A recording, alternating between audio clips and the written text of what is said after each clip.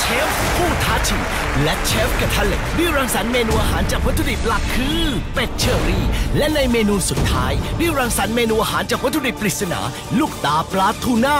ที่ถูกนำมาเป็นวัตถุดิบหลักออกมาได้อย่างครบถ้วน ต่อไปจะเป็นการชิมและการตัดสินครับ โดยคณะกรรมการทั้ง3ท่านจะไม่ทราบมาก่อนเลยว่า เมนูอาหารแต่ละจานที่จะได้ทานเป็นของเชฟท่านใด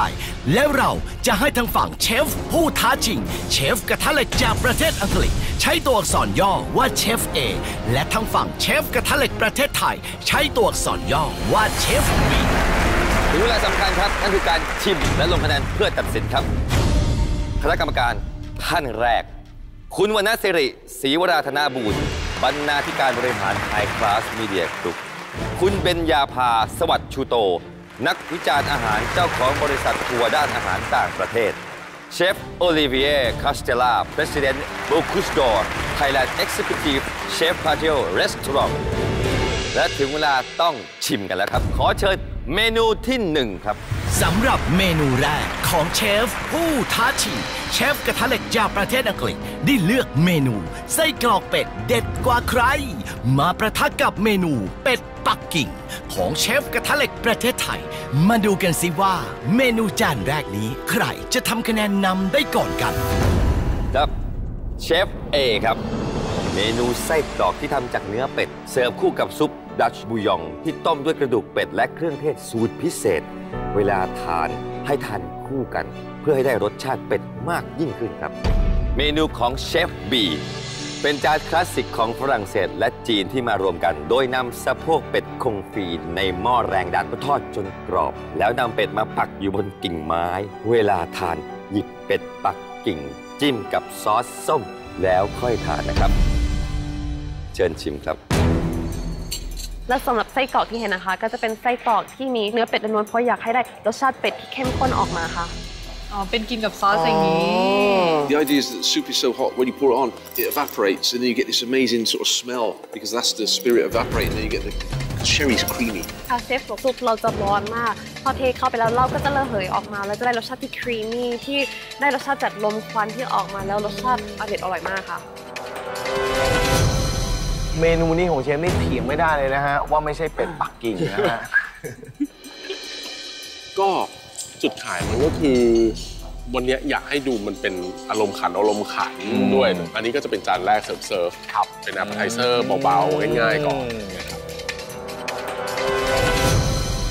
ในเรื่องความอร่อยจาน A เนี่ยอร่อยดีค่ะอ๋อความคิดสร้างสรรค์ของจาน A เนี่ยปรากฏอยู่ในรสชาตินะคะ แล้วก็การผสมผสานอิพิเคิลอะไรต่างๆ ที่อยู่ในเนี้ย อืม ดูแล้วมันไม่น่าจะไปกันได้กับเป็ดนะคะ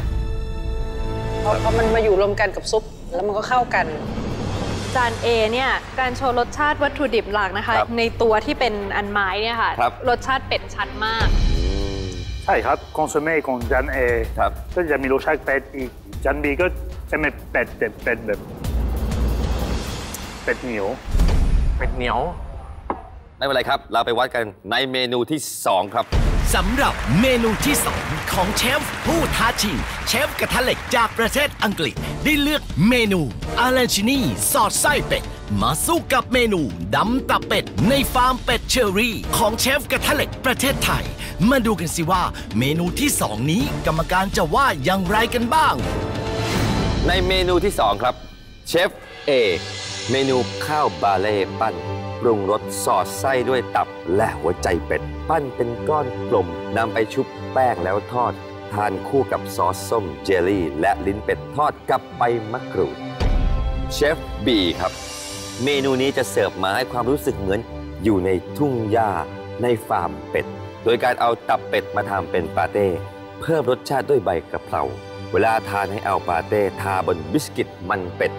แล้วค่อยเพิ่มรสชาติด้วยแยมเชอรี่ครับ ชิญชิมครับเมนูนี้คือดำตับเป็ดครับ มันก็จะมีคำพูดของคนไทยว่าดำตับเป็ดดำตับเป็ดเราก็เลยจะเอาตับเป็ดมาทำที่ไม่ใช่ฟัวกรานะครับทำเป็นปาเต้ใส่หมึกดำลงไปให้มันดำขึ้นอีกนิดนึงโอ้แต่นี่ก็เข้าเครื่องในเราก็มีเครื่องในเหมือนกันเนาะเอามาสู้กันเลยเครื่องในกับเครื่องในเลยแหละเนี่ยมันเป็นเครื่องในใช่ไหมคะข้างในเป็นเครื่องในเป็ด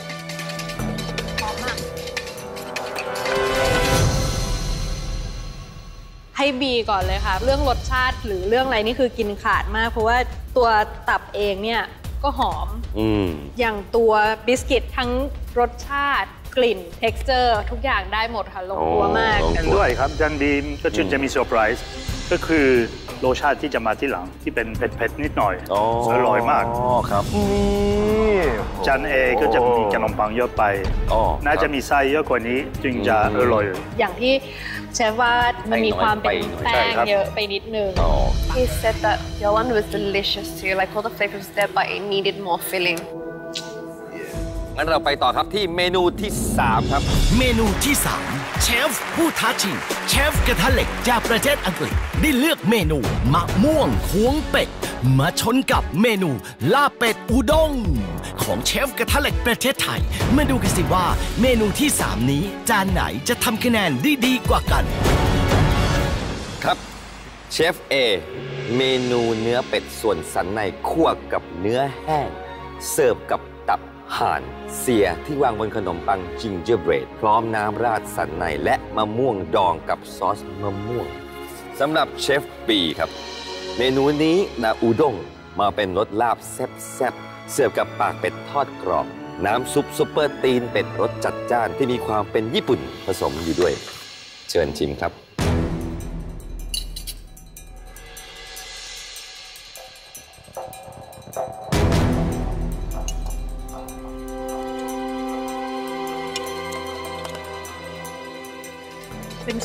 แปลก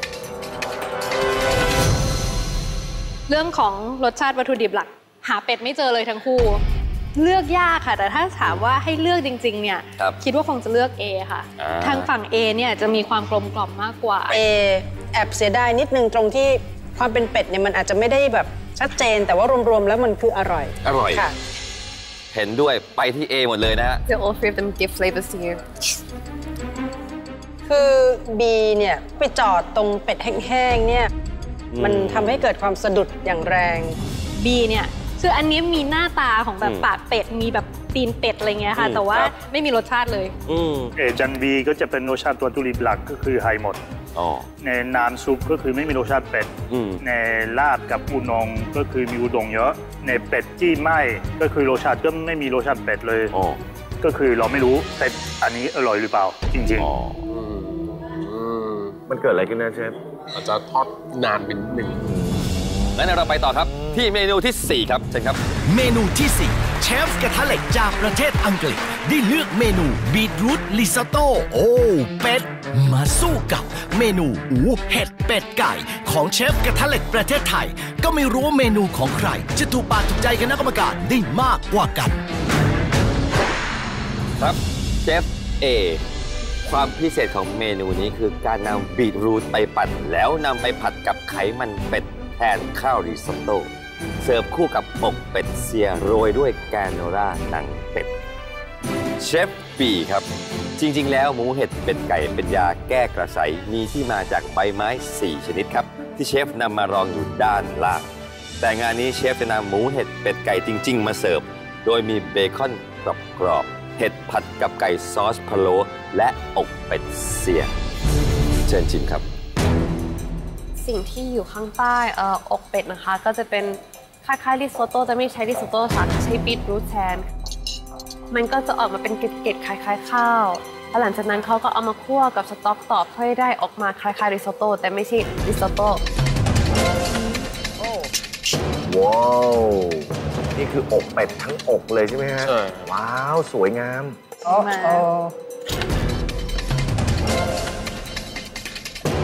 แย่แล้ว โอ้เหนียว โหโอ้เหนียวว่ะเออทำไมอะ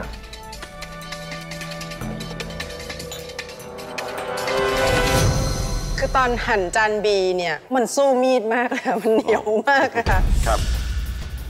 แต่ว่าพอชิมแล้วเนี่ย ความนุ่มนวลของเนื้อโอเคเลยนะคะ ครับ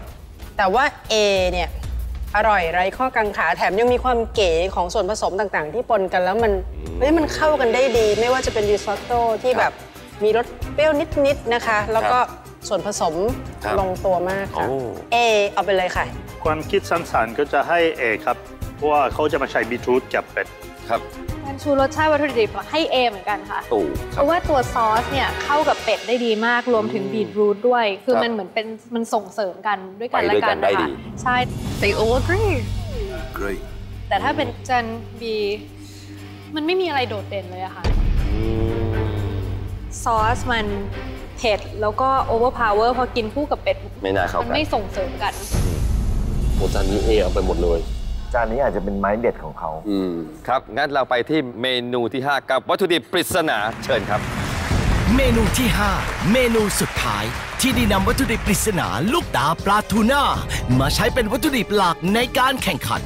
ซึ่งเชฟผู้ท้าชิง เชฟกระทะเหล็กจากประเทศอังกฤษ ได้รังสรรค์เป็นเมนู Fish Eyeball Sauce Pasta ส่วนเชฟกระทะเหล็กประเทศไทย ได้รังสรรค์เป็นเมนูกาบกาบกาบเป็ดอาบน้ำในคลอง ตาก็จ้องแลมอง เพราะในคลองมีหอยปูปลา มาดูกันสิว่า เมนูสุดท้ายนี้ใครจะเป็นผู้ชนะ ในเมนูสุดท้ายครับ วัตถุดิบปริศนาคือ ตาปลาทูน่าเอาละครับ เชฟเอครับ เมนูจากวัตถุดิบปริศนา เมนูนี้เชฟนำคอลลาเจนจากตาปลาทูน่ากรองเอาแต่น้ำเพื่อทำเป็นซุปตาปลาทูน่าทานคู่กับพาสต้าเส้นดำ on top ด้วยเนื้อ lobster และเชฟบีครับ เป็นเมนูตาปลาทูหน้ายากที่เสิร์ฟมาพร้อมกับขาปูอลาสกาของปลาโอโทโร่หอยเชลล์โฮตาเตะ และเสิร์ฟกับยำผลไม้ โรยด้วยหนังเป็ดทอดกรอบอืมเชิญชิมได้เลยครับ ตาปลานี่ต้องต้องแซะแบ่งกันนะโอ้น่ากลัวกินแล้วน่าจะได้เด้งคอลลาเจนโอ้ โอ้ตายแล้วมันมันเยอะมากเลยนะเนี่ยมันไม่ใช่น้อยนะคะ มันมีแบบอยู่ข้างใต้เนี่ยอ๋อ Oh no สุกไหมเนี่ย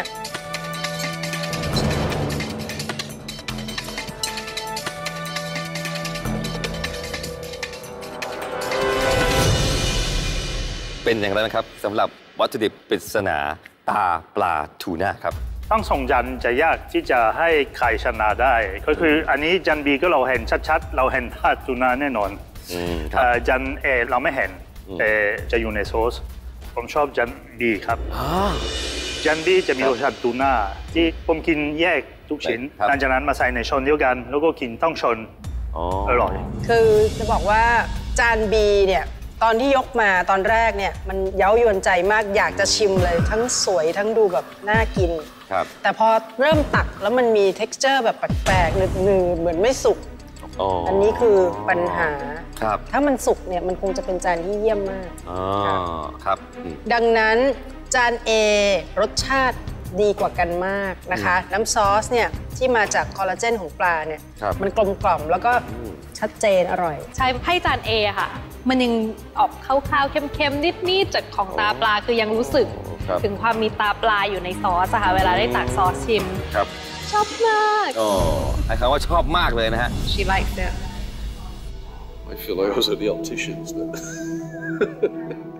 เชฟบอกตอนที่ทำรู้สึกเหมือนกำลังไปหาหมอหมอตาค่ะเอาละครับ ขอเชิญทั้ง 3 ท่านลงคะแนนครับ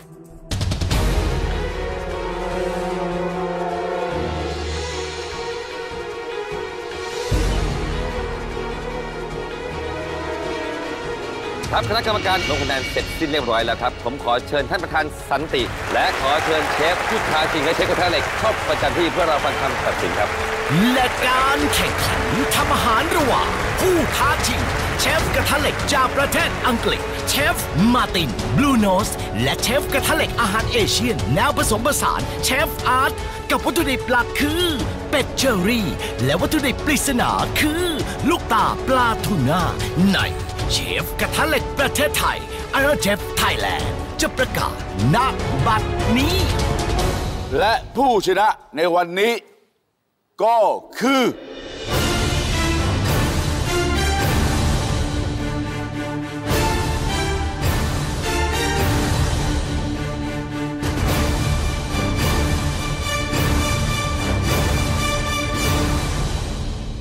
เชฟเอ เชฟพุทธาชิง เชฟกระทะเหล็กแห่งประเทศอังกฤษ